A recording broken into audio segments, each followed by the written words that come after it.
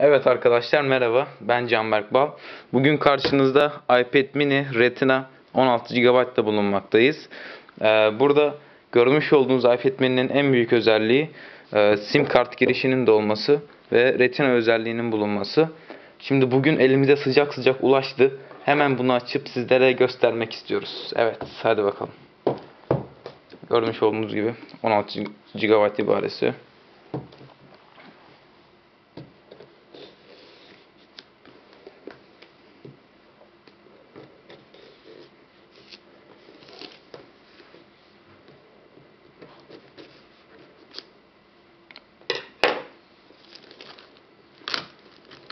Evet tertemiz jelatinimizi çıkarıyoruz. Şöyle kutuyu da biraz gösterelim isterseniz.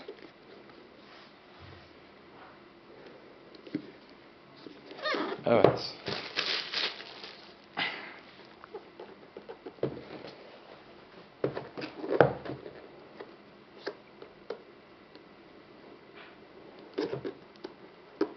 Sonunda iPad mini elimize ulaştı.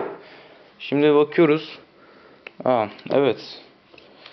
Önceki e, bildiğimiz iPad'e göre gördüğümüz kadarıyla gerçi siyah olduğundan pek anlaşılmıyor ama kenarlardaki kısalmayı gayet net bir şekilde görebilirsiniz. Onun dışında Apple logosunu burada siyah olarak görüyoruz. Ve gayet ince ve güzel tasarım e, çarpıcı biçimde ortaya çıkıyor. Onun dışında burada bakalım ilk olarak şarj adaptörümüz var.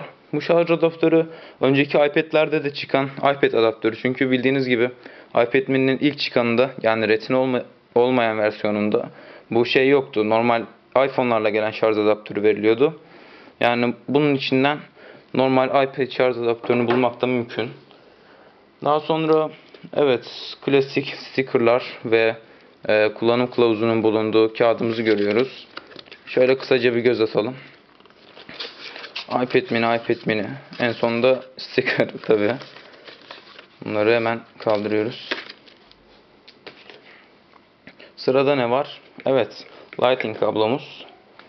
Ee, burada yine bildiğiniz gibi şarj ve bağlantı kablomuz.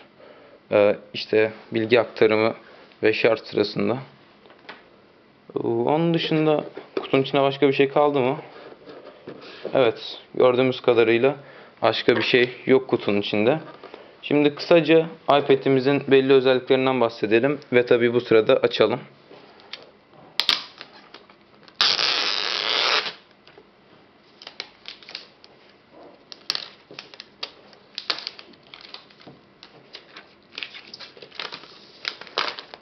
Böyle ilk defa açarken olan kokuyu siz de biliyorsunuz.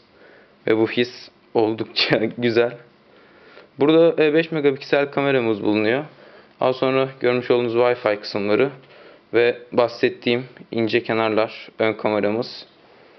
Onun dışında Apple logosundan bahsetmiştik. Şöyle garip bir durum var. Işığa tuttuğunuzda gümüş renginde duruyor. Ee, gerçi bu gümüş renginde olsa gerek. Ama e, bu renk değişimi de aslında güzel yani etkileyici. Şimdi iPad'imizle isterseniz ilk açılışını yapalım. Yavaş yavaş. Ee, önümüze gelen iPad logosu normal iPad'lere göre daha küçük. Çünkü farklı bir arayüz kullanılmadığı için e, boyutlar da biraz küçük oluyor. Yani sanki böyle daha küçük kullandığınız için garip hissedebiliyorsunuz. Ben ilk iPad mini'yi de kullandığım için oradan biliyorum. Bize İspanyolca bir karşılık verdi. Hadi bakalım. Dilimiz Türkçe. Ama Türkçeyi göremiyoruz. English'e devam edelim.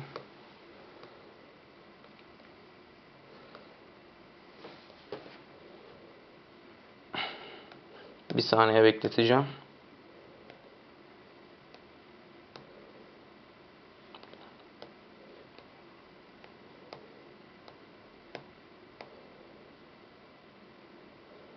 Evet çok şükür. Daha sonra buradan e, Wi-Fi kontrolümüz vesaire devam edecek. E, şu anda gayet sağlıklı bir şekilde işlediğini gördük. Ee, videomuzu izlediğiniz için teşekkür ediyoruz. Bir sonraki videolarda ve kutu açımlarında görüşmek üzere. İyi seyirler diliyoruz.